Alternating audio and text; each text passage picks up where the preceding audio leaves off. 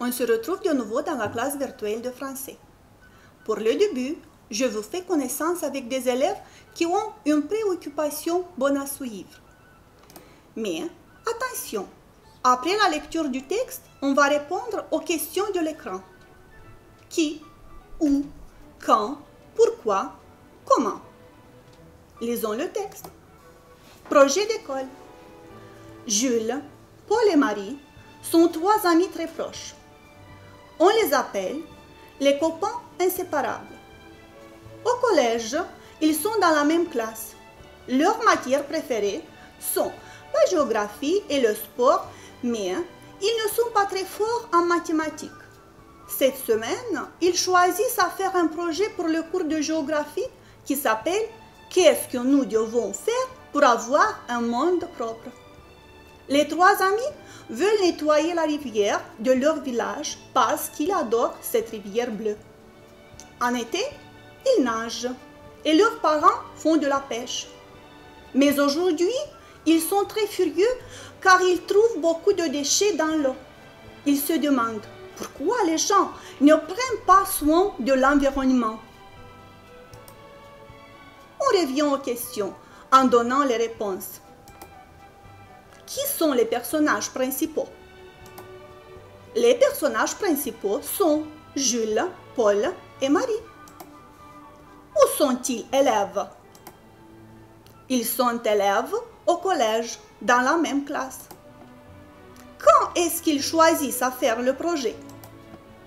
Ils choisissent à faire le projet cette semaine.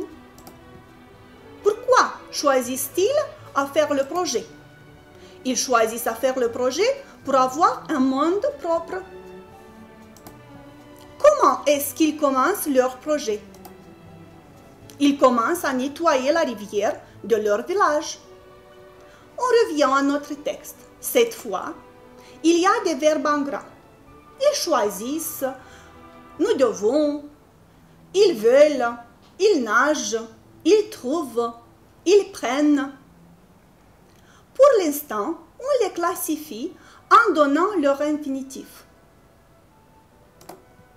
Ils choisissent l'infinitif et le verbe choisir. Nous devons. L'infinitif est devoir. Ils veulent. Vouloir. Ils nagent. Nager. Ils trouvent. Trouver. Ils prennent. Prendre.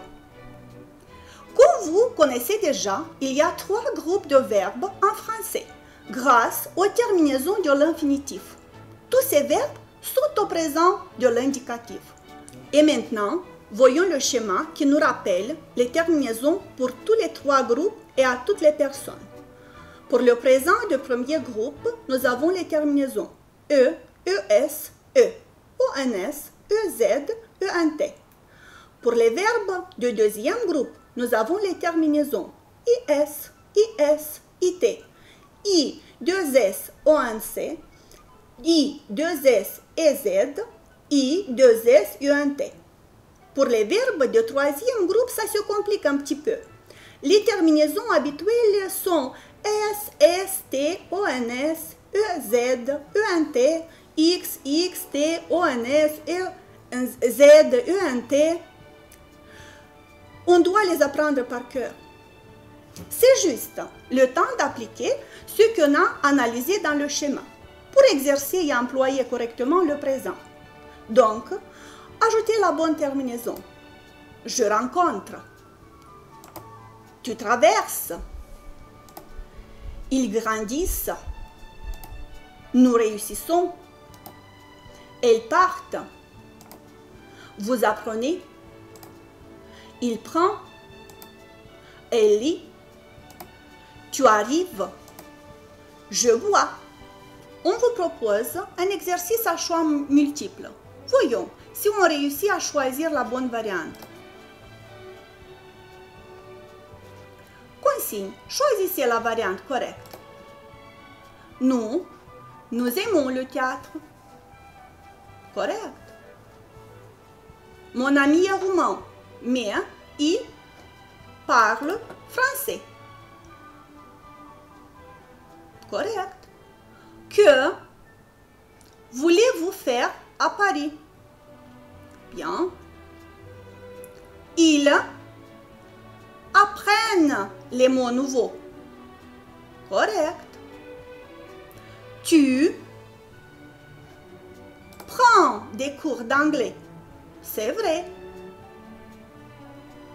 Je mets une robe blanche. Bravo, nous avons trouvé la bonne solution. Maintenant, trouvons le bon pronom en complétant les phrases. Prennent des vacances en juillet. Ils prennent des vacances en juillet. Correct. Fait des exercices physiques.